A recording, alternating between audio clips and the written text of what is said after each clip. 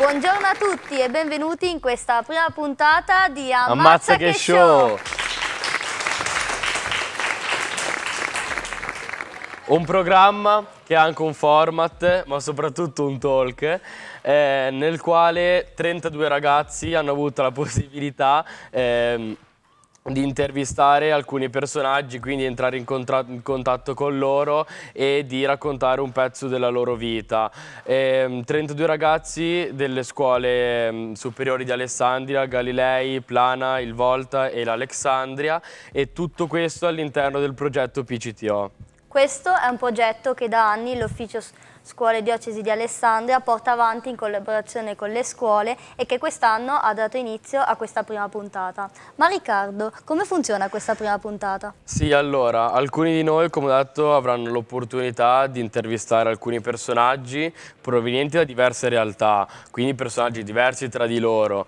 E e queste interviste saranno intermezzate da un video che eh, servirà per spiegare a tutti voi eh, il percorso che eh, abbiamo vissuto insieme. Tra le personalità avremo uno scrittore, un medico, un fisico, un calciatore professionista e due ragazzi della comunità Cenacolo. Ok, direi che è arrivato il momento di iniziare, quindi accomodiamoci qui all'angolo interviste perché subito dopo la sigla inizierà la prima puntata di Ammazza, Ammazza che, che show. show.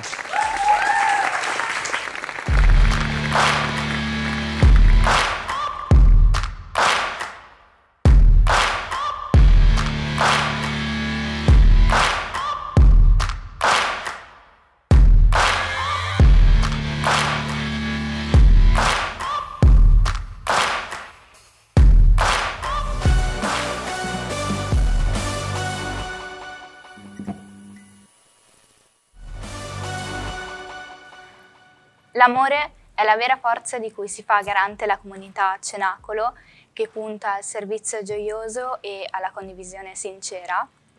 Eh, questa speciale comunità da anni eh, si occupa di aiutare eh, le, le, famiglie in difficoltà e i giovani che non hanno ancora trovato il loro percorso di vita e i bambini per strada.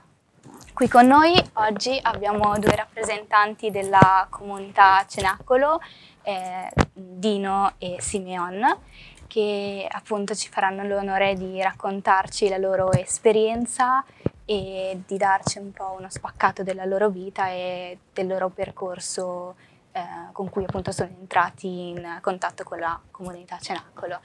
Eh, partirei chiedendovi appunto qual è stato il vostro percorso, la vostra vita e come appunto siete entrati in contatto con la comunità Cenacolo.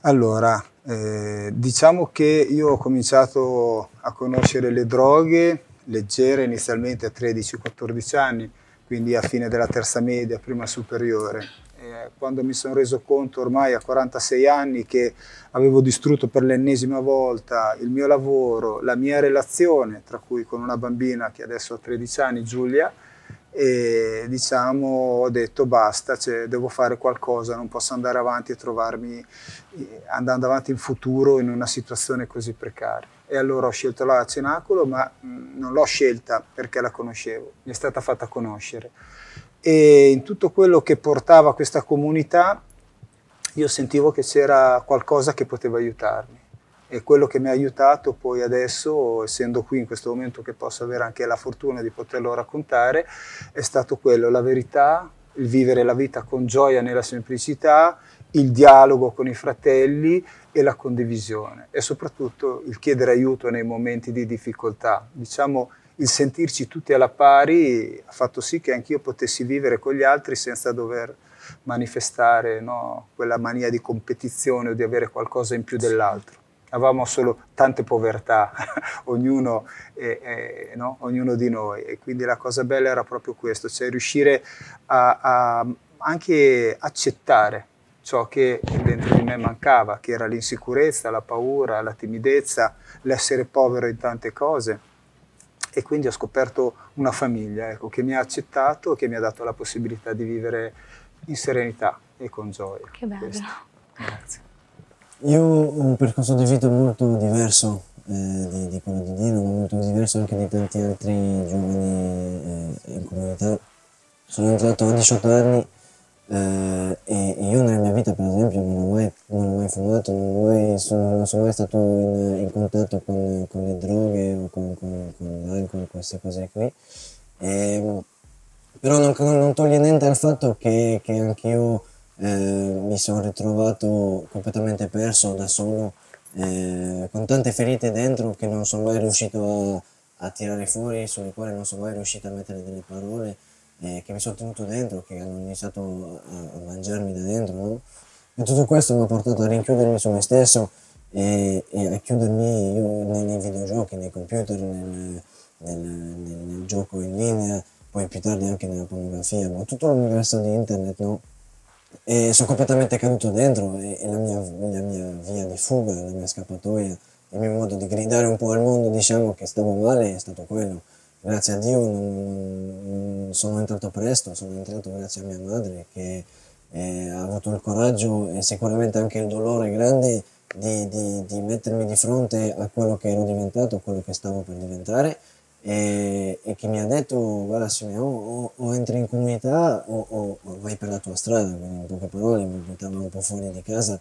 E per me a 18 anni è stato un colpo duro nel senso che eh, stavo cominciando a lavorare, i primi soldi che entravano, pensavo avere tanti amici, e, e costruire la mia vita e, e, di un colpo mia mamma ha buttato tutto, tutto per terra, che poi, poi, dopo è stato per un molto più grande bene, eh, eh, però questo, eh, il momento che mi ha fatto scattare no, de, dell'accettare di entrare in comunità è stato proprio questo, che mi ha messo davanti a, a, a chi ero diventato e che mi ha messo mi ha obbligato a, vedere, a, guardare me stesso, a non guardare più gli altri, sempre puntare il dito agli altri e dire eh, se sto così è colpa di mio papà, colpa di Dio, colpa degli amici, colpa della scuola, colpa di tutto, però io sono la vittima.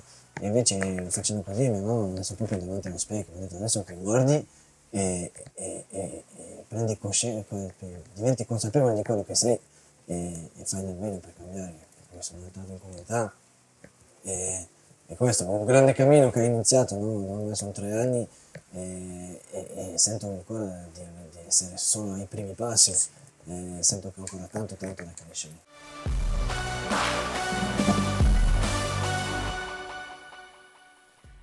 La fisica è un argomento per molti ignoto e oscuro, ma noi ne abbiamo voluto parlare lo stesso, con un particolare riferimento ai giovani.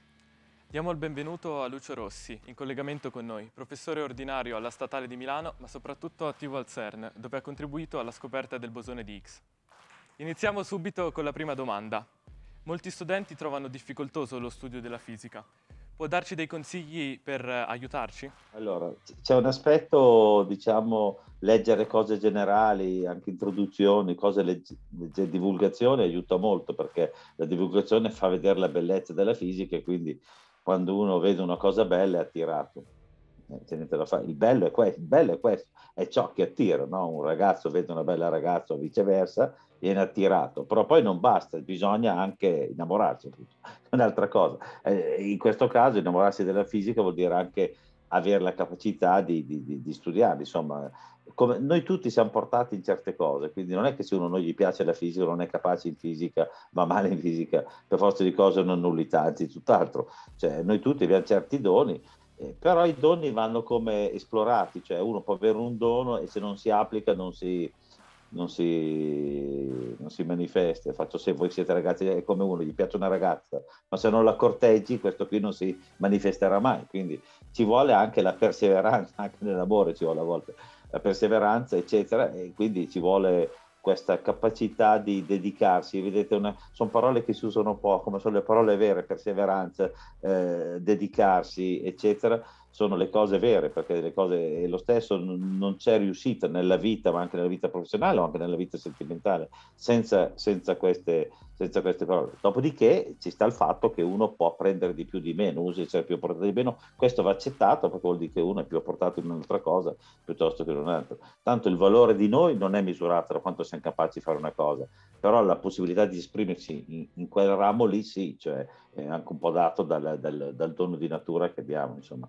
Quindi uno, non esistono cose preconfezionate, non è che tutti devono riuscire alla stessa maniera eh, e, ne, e nessuno, come si chiama, e non, tutti devono riuscire alla stessa maniera, ma uno non deve neanche pensare per il fatto che non riesce al momento di non essere portato, bisogna vedere nel, nel tempo, insomma. Quindi non so se vi ho risposto, ma sì, bisogna alla fine bisogna vivere la vita, fatte. Sì, sì, noi sappiamo che ha lavorato eh, al CERN e com'è cambiata la sua vita dopo la formidabile scoperta del bosone di Higgs? Beh, intanto è cambiata perché tante persone come voi mi chiamano, per esempio, sono stato chiamato molte volte a parlarne eh, già il, fa, col fatto di essere andato al CERN, prima quando ero stato di Milano nessuno mi, è capitato di parlare, ma molto poco, poi vai al CERN allora diventi, la gente pensa sia importante, invece io sono sempre lo stesso di prima, però diciamo, fatto ad andare al CERN, poi appunto quando è partito l'LHC, sono stato un po' al centro, c'è stato anche un grosso incidente, sono stato alla televisione, quindi, quindi eh, sì, tante persone, poi col bosone di X è stato un successo mediatico, adesso si è un po' favorito, ma è stato un successo mediatico molto forte per i SERP, il nostro tipo di fisica, eccetera. Quindi sì, tante volte mi hanno chiamato, ho cominciato a girare l'Italia letteralmente perché sono stato in tantissimi posti a parlarne, eccetera, molto spesso scuole oppure piuttosto che Rotary Club o altri tipi di, di conferenze. Beh, mi ha aiutato a riflettere perché non sempre, ma porta a riflettere, fa quando, come voi adesso parlando con voi, io in questo momento rifletto, niente fa meglio che non essere interrogati, uno dice l'interrogazione è sempre paura, a scuola l'interrogazione, e invece essere interrogati, farsi interrogare aiuta perché è sempre un dialogo, è sempre una riflessione su se stesso, non è mai... che è diverso da quando uno pensa da solo, almeno per me, per me è così. Dialogare è un, è un momento di riflessione più profondo, o diverso da quando io penso da solo e quindi questo qui sì mi ha, mi ha cambiato molto, mi ha portato a riflettere più anche sul mio lavoro, sul valore del mio lavoro e, e il legame tra il mio lavoro e quello che io penso nella mia vita, i miei valori, eccetera. Quindi devo dire la verità, in genere dico di sì e se appena posso quando vengo chiesto, anche appunto fosse la scuola, fosse anche un ambito piccolo, eccetera, perché nel dialogo scopro di più me stesso e quindi il mio lavoro. Quindi eh, lo faccio non per dare agli altri, ma per dare a me stesso, che è la maniera migliore per dare agli altri. Eh. Quando uno è convinto di guadagnarci lui, allora dà anche agli altri. Il bosone di Higgs viene definito anche particella di Dio. Ne conosce il motivo? Sì, beh, allora il motivo concreto è molto semplice perché eh, è stato chiamato parzialmente perché c'era un famoso scienziato eh, premio Nobel americano che eh, scrisse un libro sul bosone di Higgs quando ancora non era stato trovato eh, e voleva chiamarlo The, eh, The Goddam Particle, la particella maledetta, gli americani dicono Goddam per dire maledetto, ma insomma così non è una parolaccia, eh, però e invece l'editore, perché non lo si trovava mai, non si riusciva a catturarla, e, e invece l'editore eh, del libro, il publisher, disse no, eh, non God, God Particle, per così viene più bello, è così importante chiamava particella di Dio. Quindi il, il, nome per cui è stato dato particella di Dio è perché, è perché diciamo così, per una questione eh, pubblicistica quasi, per vendere un libro meglio. Però in realtà adesso detto premesso che c'entra poco, così. però in qualche maniera, come sempre, la, la, l'immaginazione popolare non sbaglia completamente, perché nel concetto della creazione, quando diciamo Dio crea, cos'è la cosa che vediamo? La massa, certo, Dio crea la luce e fu la luce, che è una cosa immateriale, però poi uno, uno, fa di fatto, siamo corpori, facciamo coincidere il mondo sì con la luce ma anche con le cose, con la massa concreta. Allora il bosone di Higgs è responsabile, diciamolo così, in maniera un po' semplicistica, della, della massa che abbiamo. Cioè la massa, non non, la massa della materia non esisterebbe. Non che non esisterebbe la materia, non esisterebbe la massa, quindi il peso in qualche maniera delle, delle particelle, quindi di noi stessi, che noi siamo fatti di particelle, qui, senza il bosone di Higgs. E a, a questo compito, questo è così importante, a questo compito fondamentale di spiegare l'origine della massa, sostanzialmente, il bosone di Higgs. E quindi in qualche maniera è legato il concetto dalla massa, quindi fa quello che fa Dio in qualche maniera. Quindi, detto premesso che dal punto di vista veramente concettuale, filosofico, non c'entra, però diciamo così, immaginativamente non è poi così sbagliata l'espressione. È per indicare semplicemente che è veramente una particella in, in tutto il panorama delle particelle, sono tante le particelle fondamentali, sono 48 più bosone di Higgs, diciamo, quindi sono tante. e tant'è vero che molti pensano che non sia il livello ultimo perché sono troppe, però in questo momento sono tante, sono 24, ma potremmo contarle come 48 più bosone di X, quindi sono, sono eh, pratica, pratica, praticamente X occupa un posto, un posto, molto speciale. Ecco. In questo senso non è poi così sbagliato, in un certo senso, a chiamarla particella di Dio, se, così, se con questa parola vogliamo intendere che è molto importante. Cosa può e non può dirci la fisica? Si possono trovare delle soluzioni a problematiche etiche? Io non penso, penso che le questioni etiche siano risolte a livello etico, a livello morale. Eh, la fisica offre delle opportunità, come è il mio mondo, la fisica è lo studio del mondo in sostanza, la fisica anche in senso greco, eh, sono le cose appunto fisiche che esistono, materiali, eh, contrapposto alla metafisica appunto. Eh, quindi, quindi, il mondo è come uno scenario su cui ci siamo, su cui si innesta una cosa meravigliosa che è la libertà dell'uomo, che però è, è, è veramente, eh, in un certo senso, la libertà dell'uomo è veramente qualcosa che va al di là delle leggi fisiche. Le leggi fisiche non contengono libertà, le leggi fisiche sono lì, immutabili, eccetera. E quindi e quindi l'aspetto della libertà è qualcosa di misterioso. Uno può pensare che la libertà non esista e che, e che sia il frutto, l'apparente libertà è solo il frutto di reazioni chimiche del nostro cervello, rilascio. Non penso che sia così. Ecco, penso che invece la libertà sia, sia un dono incredibile e, e la libertà genera la possibilità di, fare, di compiere delle scelte e quindi compiere delle scelte, le scelte, le scelte non hanno tutte lo stesso valore e quindi da qui sorge il problema etico. Quindi non penso che la fisica possa risolvere i problemi etici.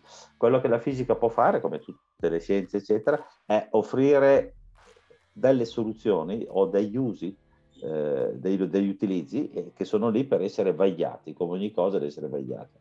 Eh, come diciamo qualsiasi cosa può essere usata, quasi qualsiasi cosa probabilmente può essere usata per il bene o per il male.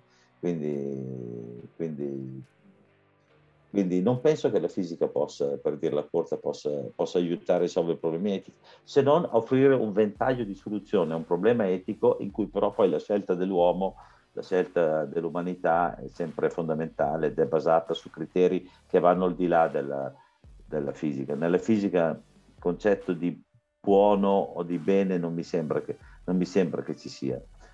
C'è un po' il concetto del bello, perché nella fisica c'è un aspetto di bello così, ma non l'aspetto di buono, ecco, questo qui. Però noi sappiamo cosa vuol dire essere buoni, capiamo quando una persona è buona. Quindi, però non mi sembra sia contenuto nella fisica, dovrei rifletterci di più, questa è ricevuto questa domanda. Però non mi sembra così a primo, di primo chino. Abbiamo letto che lei è credente come si riesce a conciliare la fede con il suo lavoro da fisico? Beh, intanto vorrei dire, non c'è bisogno di conciliare in senso stretto. Io faccio il fisico e penso ad avere il dono della fede, che è molto difficile giudicare se stessi. Eh, allora, devo dire che anche l'errore, la vicenda dell'errore, ma anche altre cose vi interrogano e, e, e cerco di capire se è vero o no che, che Dio esiste, che, che appunto che si è incarnato, eccetera. Quello che posso dire è che nel mio lavoro vedo che non, non mi sembra ci sia contraddizione, non, è, non c'è prova. Appunto, la fede non è, è come dire, la fede non, viene, non può essere provata dalla fisica, dalla scienza, provato, ma non può essere neanche disprovata. Alla fine viene tutto lasciato alla mia libertà. Torniamo, se vogliamo, al discorso prima. Adesso, questo è un discorso che va al di là dell'etica, perché è veramente metafisico, però insomma è legato. Ma è lasciato alla mia libertà, sostanzialmente. Io dico per fortuna, eh, perché se è lasciato alla mia libertà, se la fisica non può, perché la fisica non potrà mai provare che una cosa non esiste, in senso assoluto molto semplice, perché anche lì cioè, l'origine del mondo, la fisica non la prova mai, perché la fisica trova sempre qualcosa che dipende da qualcos'altro, ma poi questo qualcos'altro può dipendere da qualcos'altro, ma alla fine uno deve dire o il processo è infinito oppure ha avuto inizio, ma anche se è infinito, è come dire che quello è Dio, cioè può dire che una cosa esiste da sempre, come dire che Dio è la definizione di Dio nella, nella nostra concezione. Quindi eh, non è una cosa razionale, niente è razionale nel senso che è comprensibile veramente dalla ragione, però io trovo che la ragione, quindi la fisica, può portare alla soglia di questa scelta e, e, e il fatto che porti alla soglia di questa scelta e che la scelta rimanga a mia disposizione, alla mia libertà, mi sembra che faccia, mi, mi, convince un pizzico di più di una cosa che ho già convinto a priori, appunto dell'esistenza di Dio. Cosa dire esistenza di Dio? Vuol dire che noi siamo l'immagine, siamo, deriviamo in sostanza da un qualcuno che ci ha voluto, da un qualcosa di personale. Non siamo figli del caso, non siamo figli della meccanica quantistica, ma perché questa è la definizione del Dio nostro, cioè è, è, è, è l'origine personale, vuol dire che qualcuno mi ha voluto. Mi sembra che sia confacente a quello che questa ipotesi, questa è un'ipotesi, ma appunto è fede, quindi è un'ipotesi, però mi sembra che sia confacente a quello che vedo nella fisica, eccetera. Ma c'è tanto spazio per la libertà, capisco uno che invece dice no, no, non c'è nulla. Quello che però chiedo a gran voce, perché questo è quello che a volte ho smentito, è che però anche l'ipotesi che invece ci sia è altrettanto degna e, e ragionevole. Sono due ipotesi ragionevoli eh, che in realtà devono scontrarsi sul fatto che alla fine la decisione è lasciata alla libertà. Il fatto che sia lasciata alla libertà mi sembra dimostrare l'ultima, mi sembra quasi la cosa che fa, perché la vedo così ovviamente, che faccia pendere la bilancia dal fatto di dire no, ma questa libertà non può saltare fuori dalla meccanica, quindi dalla fisica. De, è il segno, è come dire il segno che l'origine è qualcosa di più grande di me, ma che è personale. Io, che, insomma, in favore questa libertà deve essere segno di una libertà più grande, con l'L maiuscola, che è appunto quella che chiamiamo la libertà di Dio, cioè l'onnipotenza, che vuol dire che l'onnipotenza e la gratuità vuol dire che sia, noi diciamo che ci ha creati gratuitamente. Dire? Poteva anche non farlo, ma l'ha fatto, è una scelta. Quindi, quindi è una cosa un po' complessa, non so se vi ho risposto, però quello che voglio dire è semplicemente che nella, nella mia esperienza vedo che non c'è contraddizione, non devo conciliare. Vedo, vedo se, se, se, nella mia esperienza vedessi che, che, che, che, lo dimostro al contrario, non avrei dubbi. Alla fine bisogna scegliere sempre la verità.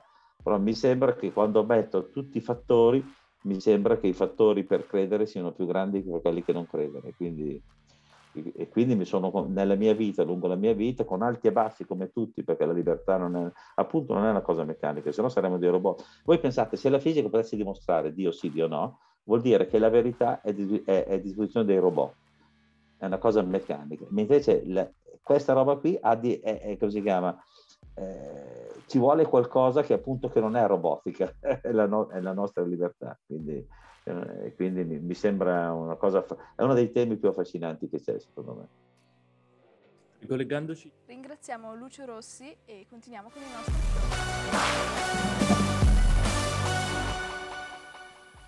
Buongiorno a tutti, eccomi di nuovo qui. E adesso è arrivato il momento di intervistare uno sportivo che ha contribuito la scorsa stagione calcistica a realizzare un grande sogno eh, per la città di Alessandria e infatti dopo 46 anni eh, l'Alessandria Calcio è tornata in Serie B. Oggi siamo qui con Matteo Pisseri, il portiere Alessandria. Benvenuto Matteo. Ciao, grazie, buongiorno. Buongiorno. Ok, sì, allora vorrei iniziare chiedendoti eh, chi è il tuo calciatore preferito, ovviamente se hai un calciatore preferito e magari mh, se hai qualche preferenza di qualche squadra, eh, sia italiana che non ovviamente. Ma diciamo il mio eh, calciatore preferito che adesso non, eh, non, gioca, non gioca, più è Zanetti, perché l'ho sempre apprezzato sia come giocatore che, che come uomo, sempre un uomo composto che non ha mai non è mai diciamo, voluto apparire, ma sempre, ha sempre guardato il bene del, della, del, suo club, della squadra, che poi era l'Inter ovviamente. Per cui eccolo sempre, e poi anche la tenacia che aveva in campo e, e i risultati che ha, che, ha ottenuto, che ha, ottenuto, in carriera. Ecco. Sì, sì, lo penso anch'io, anche per me è uguale. E invece riguardo alla squadra? Eh... Ma la squadra ovviamente, cioè, giocando... Eh, Beh, sì, giocando ovviamente non, non, ho altra squadra che se non l'Alessandra e per cui, quelle per cui ho giocato nel momento in cui ci giocavo ovviamente le squadre precedenti adesso è solo l'Alessandria. Va bene, grazie. E, eh, sappiamo che la tua passione principale quindi è il calcio e al di fuori del calcio hai qualche passione, qualche hobby, qualcosa che ti piace particolarmente fare? Ma eh, mi piace ogni tanto qualche, qualche, diciamo, riguardare le nostre partite oppure mm-hmm. altre partite del, del, nostro campionato, anche di, di, altri campionati. E poi mi piace, mi piace comunque stare anche, mh, mm, e magari fare una passeggiata fuori, stare in mezzo alla natura, ecco. E, per cui quando c'è magari ne approfitto, quando c'è una bella giornata così, o, Eh, sì, sì. di- per fare anche un- una passeggiata fuori. Ecco. All'aria aperta, All'aria non da aperta, chiudersi in esatto. casa. Sì, ecco. sì, sì. Non Beh, sono un gran amante de- de- dei film, serie tv PlayStation, Vi- ecco queste cose. Videogiochi, quindi nulla. Eh, no, no, no, no. Eh, riguardo a questo, ehm, abbiamo un po' provato a cercarti sui social, eh, ma non abbiamo trovato nulla. Ehm, non hai social, ehm, cosa ne pensi diciamo, un po' sui social in generale? Ma eh, non- sì, è stata una cosa, diciamo, non ho social, è stata una cosa abbastanza naturale, non ho mai sentito la, la- la necessità, ecco, di, di averli. Per cui, per cui non, ne, non ne sento la necessità e non, eh, per cui ho fatto la scelta di non, ecco, di- di non- di non- di non averli. Però, come tutte le cose, se- dipende sempre l'utilizzo che ne fai, però non, ecco, non ho... ecco, per me, ecco, cioè, per, per come la, io non sento la necessità, per cui non, non- Sì, sì, sì. l'ho, non l'ho fatto. Ecco. Beh, giustamente. E, diciamo, parlando mm, sulla fede, sulla religione, ehm, dal tuo punto di vista cosa ne pensi? Qual è il tuo pensiero? Eh, abbiamo visto che eh, sei mm, fedele, diciamo, religioso, e cosa ne pensi anche della Chiesa un po' in generale? Ma penso che ci sia un po' una, una visione sbagliata adesso del- di, quello che è, di quello che è Dio e di quello che è la Chiesa.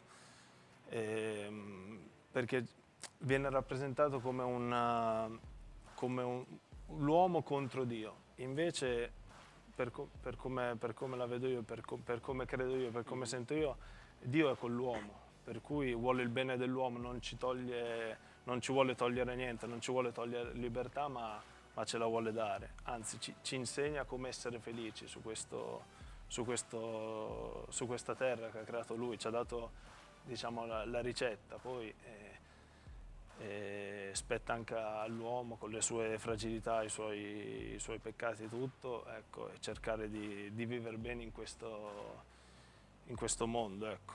Ehm, però ecco, adesso purtroppo questo, viene rappresentato come, come un Dio che vuole, che vuole togliere all'uomo, invece Dio vuole dare. E così anche la Chiesa. Purtroppo ci sono esempi anche negativi come dappertutto. Eh, come un po' quando capita magari che ne parlo con i miei compagni o, eh, che mi dicono eh, ma la chiesa, il prete, questo, quell'altro e gli dico scusa ma allora quei giocatori che si sono venduti allora fanno bene i tifosi che, che non vengono per lo stadio perché c'è qualche giocatore che si è venduto alle partite ma non sono tutti così. Bisogna vedere gli esempi, esempi positivi. Ce ne sono tanti.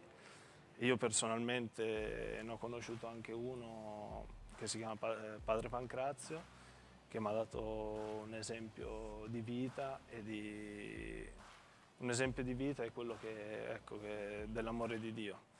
Per cui ci sono gli esempi positivi, vanno, vanno seguiti, Seguiti, quelli e non sì, quelli sì, negativi, ecco, perché c'è tanto bene. Poi la Chiesa è come una madre che ti, ti insegna a vivere tramite i sacramenti. I sacramenti, la confessione, la comunione, la messa e queste, per cui ecco, la penso così. Beh, sì. Quindi questo ti ha anche aiutato a crescere, a- magari in momenti difficili, abbiamo saputo, abbiamo visto che hai eh, subito un infortunio mh, abbastanza grave, ti ha aiutato anche questo, magari a superarlo. Ma eh, sì, sicur- sicuramente, sicuramente. Poi sai, avevo, quando ho avuto mm, questo infortunio che mi ha tenuto fuori dal, ca- da- dal campo un anno e mezzo, per cui è stato un momento difficile della mia vita. Però avevo comunque 17 anni, per cui a quell'età lì magari non ti rendi bene conto. Però col senno di poi, ripensandoci, è stato un momento per- anche per fermarmi e riflettere e capire che non è tutto, non è tutto scontato, ma eh, la vita a volte ti mette, ti mette contro, ti mette di fronte ostacoli che, che vanno, uno deve cercare di, di superarli. Ecco. E, dopo, mm, e dopo questo mi ha tolto magari qualcosa inizialmente a livello calcistico, ma mi ha dato come, penso come uomo e, e, alla fine anche come calciatore perché eh, in campo, eh, in campo non ci va, non ci va cioè, c'è un uomo prima che il calciatore. Ecco. Sì, sì, sì.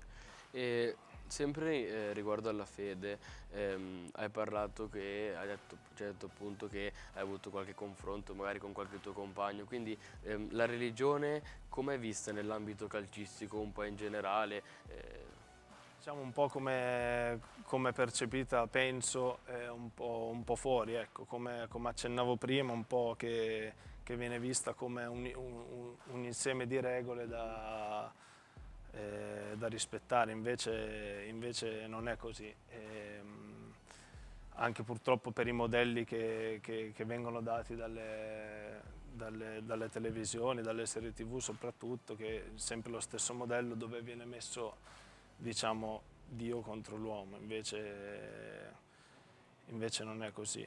E, ehm, per cui e volevo anche aggiungere questa cosa sì, che ehm, la, la, cosa principale è cioè, quando, quando, magari mi dicono eh, ma la, un po' contro, contro la Chiesa, contro, ma dico ma iniziamo noi a fare qualcosa di inizia tu, inizia, iniziamo noi, inizio io, inizi tu eh, a dare l'esempio invece che, che, guardare sempre gli altri. Se, se, miglioriamo noi poi magari migliora, migliora la società, ecco. Beh, sì, sì, giusto. Ehm, un'ultima domanda, ehm, inerente al calcio, hai qualche obiettivo eh, per il futuro eh, che, non so, stai magari inseguendo, qualcosa che... Ma eh, intanto adesso una cosa vitale, di vitale importanza per, eh, per la mia carriera e per, eh, per la società, per la città, per tutti quanti, i compagni, il mister, tutta la salvezza e mantenere la categoria, per cui veramente mi, è, un, è, un, pensiero che, mi, che mi, mi, porto dietro tutto il giorno, giorno e notte. Per cui, e poi dopo a fine anno, ecco, questo so che è di vitale importanza per la mia, per la mia carriera, poi a fine anno si, sì. si vedrà. Ecco. Progetti futuri ancora non, adesso penso a ottenere il massimo della mia carriera, poi vediamo. Ecco. Giusto, giusto. Eh, ti ringrazio per, per questa intervista e ovviamente ti auguro il meglio a te e all'Alessandria. E... Grazie. E forza Inter. Questo l'ha detto lui. Eh.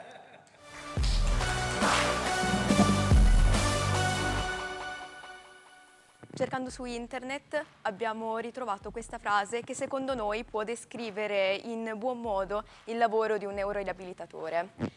Eh, quando si, le persone parlano di riabilitazione, di ricovero, si ripensa a ritornare al sé del passato, ma tornare indietro non è possibile. Eh, si cambia, ci si reinventa, alla fine si diventa una persona diversa rispetto a quella iniziale. E sarà proprio di questo lavoro che andremo a trattare insieme al dottor Luca Perrero, primario eh, del reparto di neuroriabilitazione all'ospedale di Alessandria e anche geriatra. Buongiorno. Buongiorno. Buongiorno. La prima domanda che vorremmo fargli è appunto di sintetizzare un po' di, quello, di che cosa si occupa e da dove è nata questa passione. Sì, allora la neuroriabilitazione è una nicchia di un ambito già abbastanza specifico eh, la riabilitazione in sé, eh, come potete immaginare, tratta dal bambino alla persona anziana e dalla parte neurologica, quella ortopedica, cardiorespiratoria, quindi è veramente un po' il tutto, cioè tutto ciò che è menomazione si traduce in, in disabilità, da disabilità in handicap e tu combatti contro queste tre cose. Nella fattispecie la neuroriabilitazione di terzo livello, che è quella che ehm, faccio io con i miei colleghi al Borsalino, ha due patologie mirate eh, che sono gli esiti di coma, quindi gli stati vegetativi e gli stati a minima coscienza, e gli esiti di trauma midollare, quindi le paraplegie e le tetraplegie. Eh, che cosa mi ha portato a, a, questo? Beh, un po' il caso, come sempre, e un po' la passione, eh, nel senso che ehm, vabbè, il, caso fino a un certo punto perché io abitavo sullo stesso pianorotolo di una ragazza disabile e, e mi capitava così nel- nelle pause di studio di andare a trovarla e a chiacchierare e mi sono reso conto di come la diversità poi eh, è solo nella nostra testa, perché andando avanti un po' a scavare si parlavano assolutamente delle stesse cose che parlavo con l'amico con cui giocava a pallone piuttosto che andava a sciare. E poi ehm, io specialista in geriatria, a un certo punto partecipo a un concorso di fisiatria perché le specialità erano equipollenti e, e entro come primo impiego in un reparto di riabilitazione geriatrica. Eh, agli smontonotte andavo all'Università di Genova a, per prendere la seconda specialità, eh, tant'è vero che ho fatto 6 più 4 più 4 anni di università e eh, una volta ehm, specializzato anche in fisiatria non mi sono accontentato, ho detto però non mi interessa solo la parte geriatrica ma anche la parte più neuroriabilitativa e sono entrato in un reparto di neuroriabilitazione dove queste due patologie erano imperanti, nasceva l'ospedale Borsalino eh, e poi da lì ho fatto un po' la, la mia strada con questo genere di pazienti. Ci può parlare magari in un un caso particolarmente difficile che ha dovuto affrontare nella sua carriera? Dunque, vabbè, intanto fortunatamente quando si lavora in reparto non si è mai da soli, cioè si affrontano i casi eh, con gli altri colleghi, con gli altri medici, eh, i collaboratori, con gli infermieri, con i fisioterapisti ovviamente nel nostro ambito e con i logopedisti e, e poi anche con eh, lo psicologo. Tant'è vero che il modello che ehm, inizialmente era chiamato multidisciplinare, poi è passato a interdisciplinare, per cui tutti insieme si interagisce per cercare di risolvere i problemi della persona che, che, che ti si presenta al ricovero. Eh, I casi, diciamo che nel reparto si distinguono un po' in due caratteristiche un po' diverse. In una, eh, e poi parlo di due casi magari specifici, una sono persone che es escono dal coma e, e che eh, dallo stato vegetativo pian pianino eh, si cerca di far di tutto per stabilizzarli e farli tornare per il più possibile alla, alla coscienza. E questo è un tipo di paziente. Eh, un altro tipo di paziente eh, delle due categorie che trattiamo sono le persone con lesioni midollari e sono persone che come le altre ma in maniera assolutamente cosciente si trovano a non poter muovere le gambe o addirittura talvolta non poter muovere le gambe e neanche le braccia.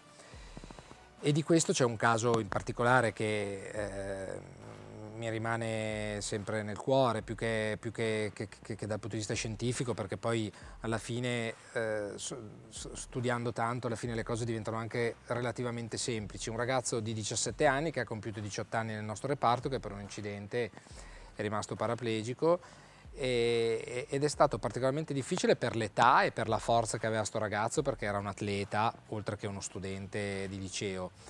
Ma più di tutto per come è riuscito a reinventarsi all'inizio dicevate quello eh, e, e proprio a sposare il nostro modello che è recupero e rieducazione funzionale. Si cerca di recuperare quello che è recuperabile ma talvolta non c'è di recuperabile allora rieducazione funzionale insegna a fare le stesse cose in un altro modo quindi con questo percorso di riabilitazione si, si, può giungere sempre a un risultato positivo oppure certe volte non si, non si, giunge a un risultato vero e proprio? Allora, a un risultato positivo sì. Eh, bisogna vedere che cosa si intende per risultato positivo. Cioè, vi, vi, è un concetto che io insegno sia ai fisioterapisti che agli studenti di medicina.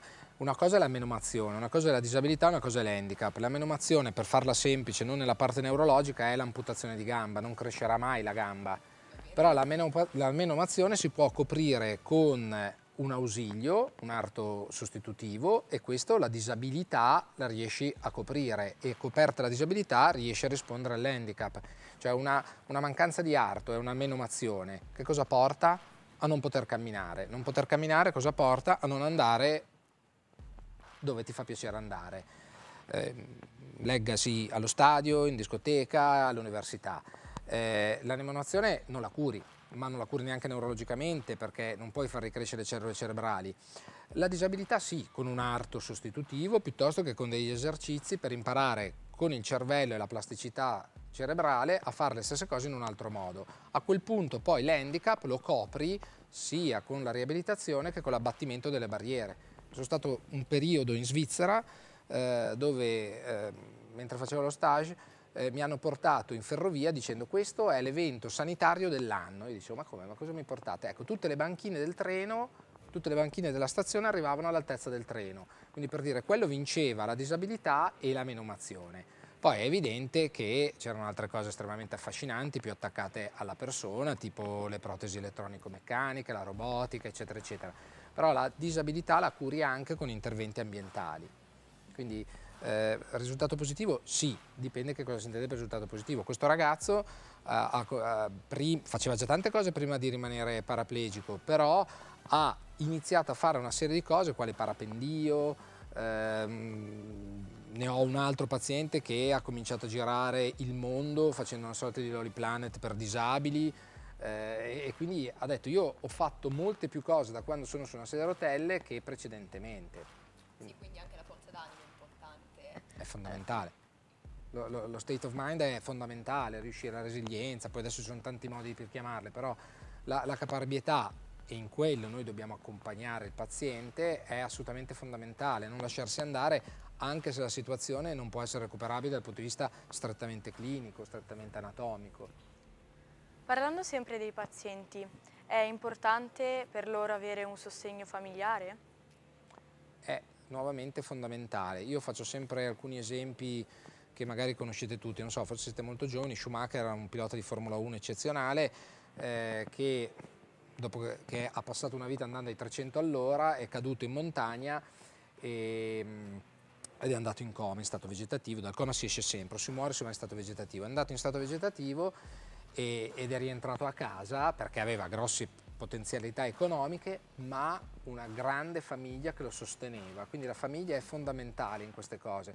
Altrettante persone con disabilità molto minori purtroppo non rientrano a domicilio perché la nostra società porta molti nuclei familiari a essere monopersona Ecco, e questi purtroppo eh, hanno più difficoltà a essere reinseriti nella società. Quindi la famiglia che ci sia innanzitutto e che siano persone davvero, adesso scusate il termine magari romantico, amorevoli e presenti è assolutamente fondamentale perché abbiano la capacità di capire che cosa bisogna fare. Noi li istruiamo ovviamente. E facendo una domanda invece più personale, più legata appunto al suo amore verso questi due ambiti della neuroriabilitazione e della geriatria, cos'è che la rende più soddisfatto alla fine di una giornata di lavoro? Mm. Ma allora, eh, io ero un po' a metà tra un secchione e uno sportivo, quando, perché eh, giocavo a pallone, sciavo e e però avevo dei voti abbastanza buoni, quasi a volte li nascondevo perché sennò non ti faceva troppo, però avevo una media molto alta e quindi mi si potevano aprire parecchie cose davanti. Poi a un certo punto ho pensato, ma eh, anche questo continuare a rincorrere la competizione, ecco, se io nella vita eh, avessi fatto, e poi sono stato fortunato di averlo potuto fare, qualcosa che mi piace veramente tanto e che può aiutare le altre persone, ehm, sarei stato soddisfatto a prescindere dai risultati. E questa è stata una non dai risultati sul paziente, ma dai risultati carrieristici. E quindi questo mi ha fatto pensare che aiutare il prossimo mh, come fare il medico era una delle, delle, spinte maggiori ed è quello che mi ha portato a, a, alla fine a scegliere questa professione. Guardate, io vi assicuro che eh, quando, non so, eh, Madre Teresa di Calcutta a un certo punto le hanno chiesto ma lei come mai fa tutto questo, un intervistatore? E, e, e lei rispose, ma sciocco, lo faccio per me cioè, aiutare le persone ti dà grande soddisfazione. Quindi questa è una delle ragioni principali per cui uno fa una professione dove si interfaccia con l'altro e cerca di aiutarlo compatibilmente con le proprie capacità e, e, quello che ti si presenta davanti. Infine un'ultima domanda, se ha qualche consiglio da dare a noi studenti che vogliamo approcciarci a questa materia. La, medicina? Ah, intanto è bellissima, quindi cioè, eh, fatelo. cioè, è chiaro che poi deve piacere, però... Ma allora, ehm, bisogna innanzitutto superare il test di ammissione, siamo pragmatici. Eh, il test di ammissione è abbastanza severo, con una cattiva traduzione dall'inglese, severe, è veramente duro.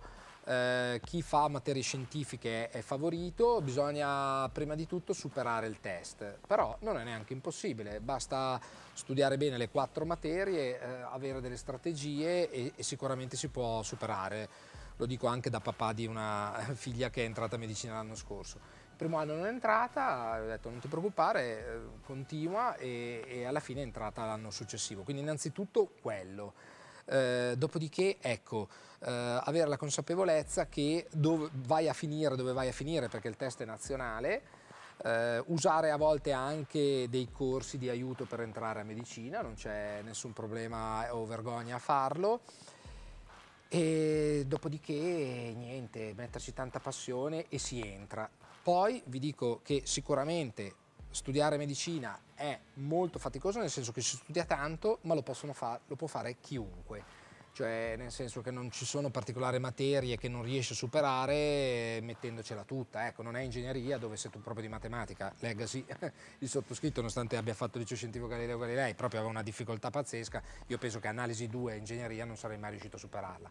Eh, invece medicina basta studiare tanto, aver voglia di fare, fare qualche partita di pallone in meno o farla la sera o per le ragazze qualcos'altro, non so, eh, o magari le stesse cose e, e si può tranquillamente superare e finirla in sei anni. Eh, basta superare il test d'ingresso che è di nuovo molto duro, ma si entra, basta studiare. Va bene, la ringraziamo molto per questa intervista, e ringraziamo appunto il dottor Luca Perrero e continuiamo con lo show. Grazie a voi.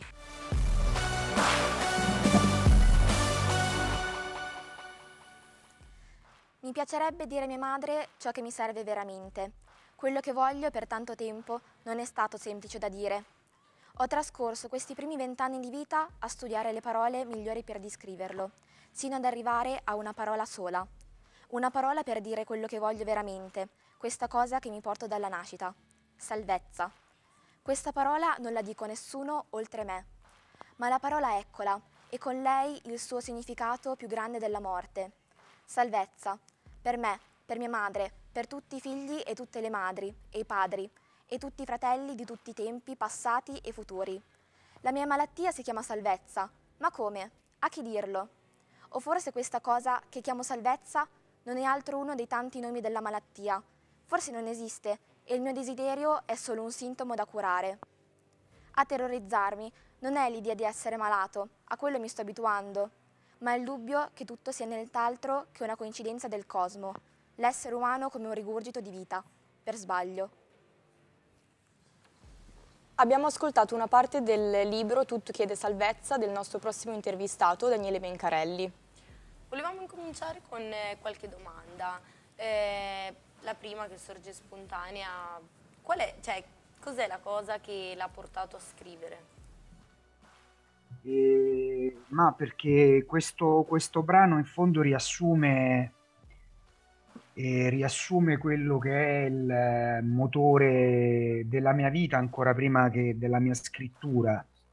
E il grande tema del, eh, dell'uomo, dell'amore, della bellezza come di eh, una forza, un bene creato oppure il suo contrario, come qualcosa che è creato, che, che, non nasce creato, che è increato, che nasce dal, dal caos, che nasce da, dall'errore, si potrebbe dire, o dalla casualità. E perché questo tema eh, mi sta profondamente eh, a cuore e ho trovato nella scrittura, prima poetica, poi adesso anche narrativa, poi anche con il teatro il 26 aprile eh, c'è la prima teatrale di una pièce che ho scritto io. E diciamo che racco- parlare di questi temi eh, per me è importante. Ho trovato nelle varie forme della scrittura, nella letteratura in primis, uno straordinario strumento per rendere questi interrogativi non un mio problema o un tuo o di qualcuno in particolare, ma come semplicemente una materia di dialogo rispetto alla nostra natura. E pensate che approccio diverso. Oggi abbiamo rispetto a questi temi un approccio individuale, singolare, il più delle volte meccanicamente e patologico, che rimanda meccanicamente ai temi della patologia, della malattia, dall'altra parte invece farne quello che stiamo facendo noi adesso, un meraviglioso tema di incontro. e di scambio. E la letteratura per me è stato questo, è stato un modo per estendere oltre me dei temi che l'uomo non è fatto per vivere da solo, perché viverli da soli eh, può generare tanti rischi, in primis quello di essere solo noi a vivere certi temi, e non è mai così, e il fatto che viverli da soli espone l'individuo a, a, ad, ad, ad alcuni sforzi rispetto a certi pesi, come un uomo che da solo vuole sollevare una macchina, e certi pesi che devono essere condivisi, cioè certi pesi vanno eh, e certi temi gravosi vanno vissuti assieme, vanno condivisi e lì il peso diventa più gestibile, diventa più umano. Sì. Eh, come abbiamo appena sentito, come abbiamo appunto appena sentito eh, nei suoi libri è evidente l'importanza della ricerca della felicità o della salvezza. Ma qual è la differenza tra le due per lei? ho fatto, mi hai fatto fare un fischio da... Eh, mi è venuto in mente un film, un vecchio film che parlava di, di diciamo, eh, di un personaggio romano, ma non andremmo troppo oltre. E a me la felicità, sul tema della felicità, io ho anche scritto tanto mh, su giornali, è un tema che tratto spesso perché la felicità rischia di essere un grande equivoco di questa epoca, non che non esista, ci mancherebbe. E ci mancherebbe che un individuo non ha un po' il diritto-dovere di cercare per sé la propria felicità e che abbiamo un'idea, secondo me, profondamente corrotta dai consumi rispetto alla felicità. E in un articolo che ho scritto, ormai saranno passati un paio d'anni, parlo di dittatura della felicità, e di un'idea di felicità che è profondamente disumana e quindi eh, produttrice per suo malgrado, nostro malgrado, dell'esatto opposto e quindi di infelicità. Questo è un po' il discorso. La salvezza per me invece è quello che è quel grande tema che, che ci interroga e che si interroga al di là del momento io non so se eh, non mi interessa, non credo esiste una felicità perenne, credo esista eh, una felicità da inseguire che vive di sprazzi, vive di lampi, vive di momenti che vanno conservati, che vanno difesi, che vanno condivisi. Non credo esista una felicità a questo mondo perenne, mm, mentre sono profondamente attratto da, eh, dall'idea di una salvezza perenne, da una, da, dall'idea di una salvezza definitiva che è affrancamento anche dalla felicità e dall'infelicità, cioè da qualsiasi eh, sentimento che ha, che vive eh, di contrari, di polarità positiva negativa, felicità e infelicità, soltanto per rimanere a, a questo tema. E mh, se pensiamo anche al tema della salute, e quindi che ha la stessa poi radice etimologica della salvezza, e oggi si parla molto di felicità perché tutto sommato è un traguardo che l'individuo sente raggiungibile per sé e su cui il mondo della comunicazione eh, ha lavorato tanto proprio costruendo un ideale, un immaginario assolutamente pericoloso. E nessuno parla di salvezza perché la felicità eh, a, attraverso i consumi, attraverso i corredi che vengono forniti tutto sommato mh, abbiamo costrui- costruito questo immaginario che la felicità è raggiungibile, e invece quando parliamo di salvezza sappiamo perfettamente che non ce la possiamo dare noi. E questa è la grande differenza. Io posso essere ve- veramente costruttore, adesso anche in termini molto sinceri, molto lineari, io posso essere costruttore della mia felicità o, o il contrario, posso essere costruttore della mia salvezza a questo mondo, ma se poi parliamo di una salvezza che evidentemente si affranca anche da questo mondo, eh, io lì non arrivo, tu non arrivi, Angelo non arriva. E quindi eh, rimanda evidentemente, parlo della salvezza, a una dimensione dell'uomo non bastante a se stessa, mentre la felicità in fondo ci raccontano che noi possiamo attraverso le narrazioni che ci offrono, i prodotti che ci offrono, gli obiettivi, i traguardi che, ciò che ci mettono di fronte, in fondo ci raccontano che la felicità è possibile perché l'individuo che la raggiunge, la salvezza no. Nel suo libro, sempre tornare, la, la parte principale del libro eh, racconta questo viaggio a piedi da Rimini ad Ariccia e sembra quasi un racconto autobiografico e la domanda è, lo è veramente?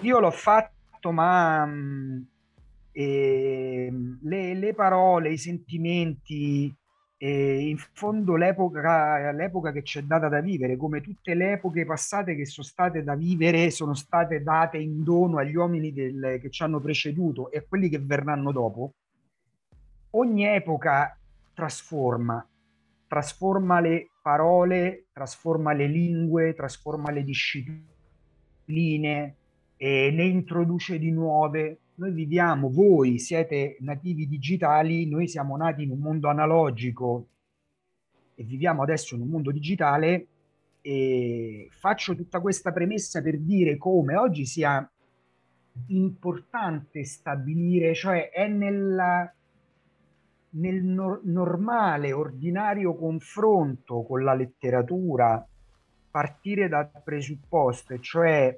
ehm, divisezionare il contenuto anche in un'ottica biografico-non biografico. E questa attenzione, questa curiosità che è sana, ci mancherebbe altro, e diventa mh, meno sana quando diventa quasi, come dire, come, mh, diventa quasi morbosa invece come curiosità. E, mh, un secolo fa questa, questa domanda sarebbe stata meno, probabilmente meno eh, consueta, meno ordinaria. Perché? Perché alla letteratura, all'arte si chiedeva di essere eh, e si immaginava, si percepiva e si amava anche come elemento assolutamente eh, avvinghiato, intrecciato alla vita. Oggi invece abbiamo della letteratura, delle arti, quelle ancora che resistono, perché tante sono state, si sono fermate, sono ferme cristallizzate al Novecento, e oggi invece abbiamo un occhio mh, molto più analitico su questi temi. In realtà però, e poi ti risponderò perché sennò sembra che non voglia risponderti, e in realtà però non conta quello che è accaduto prima o non è accaduto prima nella vita dell'autore, dell'artista, perché questo ha un'importanza,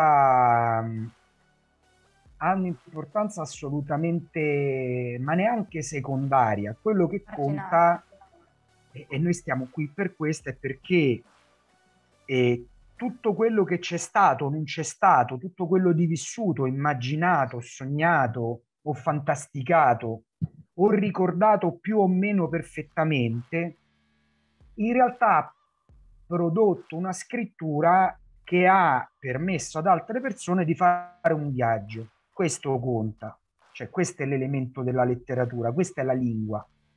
Io poi adesso ti rispondo, l'ho fatto quel viaggio, come in tutto chiede salvezza ho fatto il TSO, come il primo romanzo ho lavorato per un anno a Bambin Gesù come operaio addetto alle pulizie, quindi i contenitori sono veri, ma poi tutto quello che c'è dentro vive di parole. E la parola spesso per essere più aderente si deve allontanare, sembra un controsenso ma va sicuro che non è così. Eh, nel suo libro La casa degli sguardi, invece, lei parla di un evento che gli ha cambiato la vita. La scena di una suora eh, che si prende cura di un bambino sfigurato con moltissimo affetto. Eh, saprebbe descriverci questa donna con soli tre aggettivi? Però se dovessi dirti tre parole, la prima ti direi rotonda, perché era una donna, io me la ricordo, poi ero molto più giovane, tanto più si è giovani, tanto più si vedono gli adulti come più adulti di quello che sono. Oggi dico, nel mio ricordo era una settantenne, magari sarà stata una sessantenne, molto rotonda, cioè proprio rotonda come girovita, ma anche come rotondità e morbidezza, cioè rotonda, cioè qualcosa che è, è morbida. Ecco, la seconda, secondo aggettivo direi morbida. La terza eh, caratteristica che ti darei è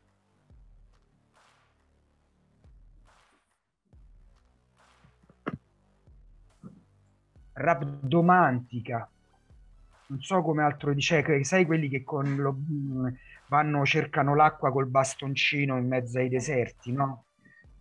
E però la, la casso io, mi faccio da editor, la, la, la boccio io perché appunto rischia di essere troppo sentimentale. La terza è visionaria, visionaria, perché rispetto alla realtà che io percepivo e vedevo, lei vedeva qualcos'altro e questa visione che lei ha, avuto rispetto a quel bambino poi ha preso, ha attecchito anche dentro di me. E quindi direi rotonda, morbida e visionaria. Eh, come abbiamo ascoltato ci ha raccontato molto della sua esperienza di vita in generale, ma c'è qualche episodio che non ci ha ancora raccontato che vorrebbe renderci partecipe? Ma ne, io ho vissuto tanto, c'è una statistica del gioco del calcio che io amo spesso ricordare, che è il tempo effettivo di gioco, nel senso che una partita dura 90 minuti sempre, cioè una partita di calcio è divisa in due tempi da 45 minuti ognuno e quindi ha una durata standard che è uguale sempre, 90 minuti. Però poi c'è questa statistica meravigliosa che il tempo effettivo di gioco è il tempo in cui la palla è effettivamente in movimento e quello differisce. Cioè questo quoziente qui, questa durata effettiva, differisce. Io sono un uomo che ha viaggiato pochissimo, nel senso oltre l'Italia, eh, però credo di aver avuto una vita in cui, eh, ecco, questo quoziente, questa palla in movimento c'è stata parecchio e io tendenzialmente avrei tanto da raccontare, non racconterò più di me perché tante, o meglio, far, racconterò di me, continuerò a raccontare di realtà, di me, di quello che incontro, passando più per l'invenzione. Però io ho vissuto tanti incontri che sono rimasti, ho vissuto cose che eh, faccio fatica a raccontare perché sono poco verosimili. Aristotele diceva si racconta non si racconta il vero ma il verosimile. E certe cose che ho vissuto sono talmente strane, come succede nella realtà, perché la realtà è la sostanza stupefacente più potente che esista in natura. Io le ho provate tutte, ma spesso la realtà ti offre delle visioni che sono eh, assolutamente indecifrabili, indecifrabili, cioè ti chiedono codici che tu non hai in quel momento, ti chiedono un lavoro. E non voglio essere truculento, macabro, vi racconto questa che per esempio finirà prima o poi nei libri, una scena che è da ridere, un aneddoto. E una notte di tanti anni fa, e immaginate le, la via Appia Nuova, la grande via che mm, l'Appia era la grande via, la regina madre che portava da Roma, dalla Roma imperiale e, mm, fino a Bari, dove poi i, si imbarcavano per andare eh, a Gerusalemme, è stata una via, io mi sento molto legata a questa via, vivo ancora affacciato sull'Appia, io una notte la ricorderò per sempre.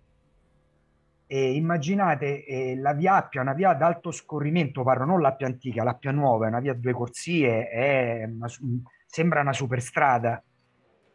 E immaginate una fila incolonnata di almeno 70-80 macchine nella corsia di sorpasso e questo uomo con quelle macchinette che vanno in giro, non macchinette, con quelle, quella specie di scooter che utilizzano i portatori di handicap. Ah, sì. Cioè quelle che hanno... Ecco, immaginate questa scena, questo signore molto anziano che cammina in maniera assolutamente folle eh, sulla corsia di sorpasso, in mezzo alla corsia di sorpasso e dietro 80 macchine, c'è una fila sterminata e nessuno che sorpassava per un non meglio specificato motivo, ma neanche nessun colpo di clacson.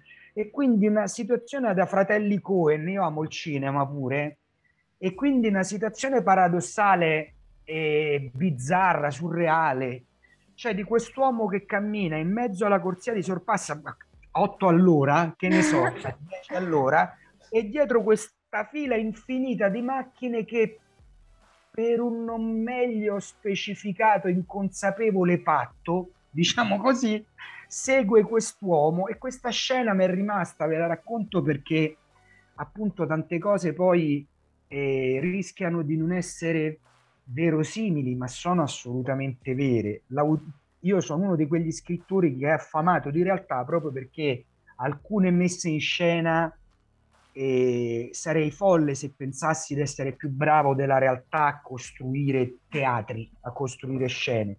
E vi ho detto la prima che mi è venuta in mente. Come ultima domanda ci tenevamo a chiederle, ehm, ci tenevamo a farle una domanda particolare, eh, ovvero quanto coraggio ci vuole secondo lei per scrivere un libro? Ehm, ecco, io ho consegnato il primo libro nuovo, che è un libro di invenzione. Il coraggio non viaggia paral- parallelamente con la quota espositiva di sé.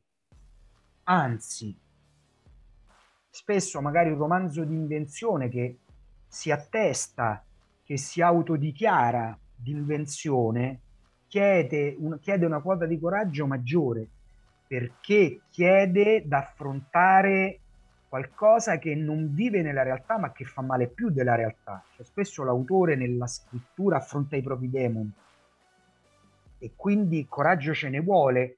Il dato biografico in tutto questo che vi sto dicendo è sì importante, ma meno del coraggio di, di scendere dentro certi recessi del proprio io e mettere in scena esattamente quello che terrorizza di più. Coraggio è una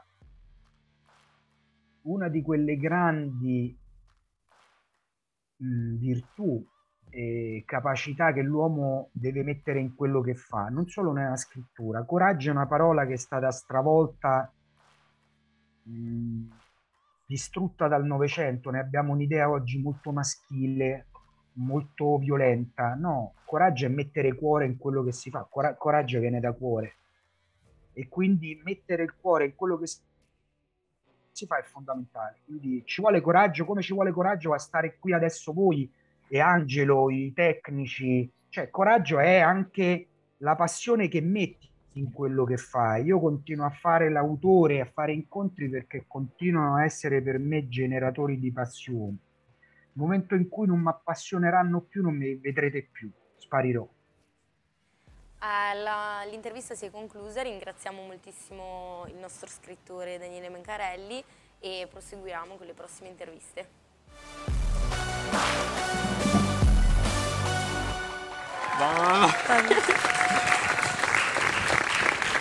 E anche questa puntata è giunta al termine hanno partecipato a questo progetto eh, costruendo pezzo per pezzo questa puntata eh, quattro gruppi di ragazzi divisi in sceneggiatura, scenografia, regia e comunicazione. E ringraziamo tutti, è arrivato il momento di salutarci e ci diamo appuntamento alla prossima puntata di Ammazza, Ammazza che, che show! show.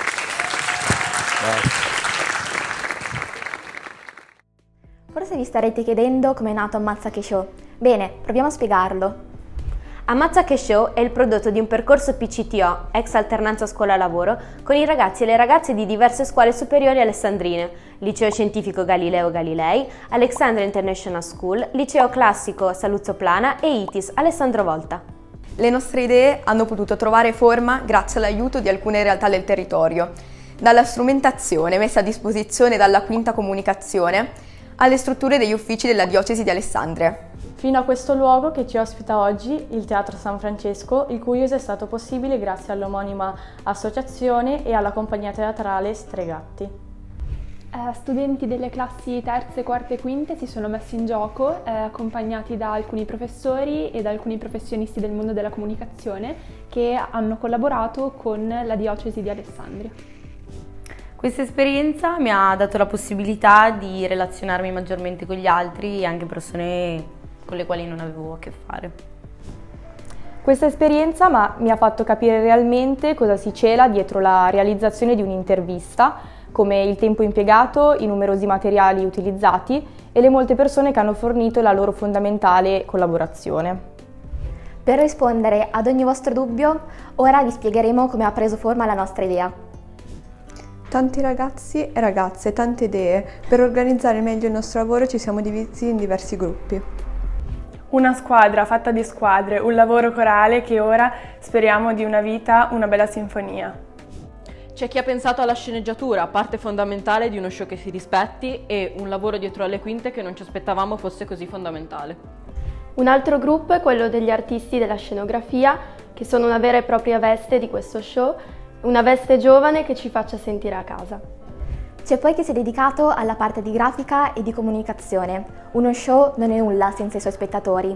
E grazie a loro abbiamo cercato di raggiungere voi, proprio voi che oggi guardate Ammazza che show. Ciascuno ha messo in campo le proprie passioni e le proprie competenze, sia professionali sia relazionali. Ma uno show non sarebbe nulla senza le persone che lo fanno, i nostri intervistati. Grazie a loro abbiamo incontrato tante belle realtà, significative, vere e profonde. Gli adulti che ci hanno aiutato in questo percorso ci hanno lasciato spazio, aiutandoci a fare sintesi. Abbiamo così potuto fare sintesi dei molti punti di vista, dando forma alle nostre idee, passando dal sogno al progetto. E oggi questo progetto lo vedete, uno show interamente realizzato da giovani, giovani che si aprono al mondo e che vogliono approfondire temi diversi. Ora scopriremo cosa ha lasciato questa esperienza alle persone che l'hanno resa possibile. Direi l'arte del, della creatività nel compromesso e dell'incontro con persone che ci provano assieme a me. Questa per me è stata una vera esperienza, che significa cose belle e anche cose faticose, però qualcosa che mi rimane dentro, perché abbiamo fatto una ricerca comune, imparato cose nuove, ci siamo aiutati. Questo è bello.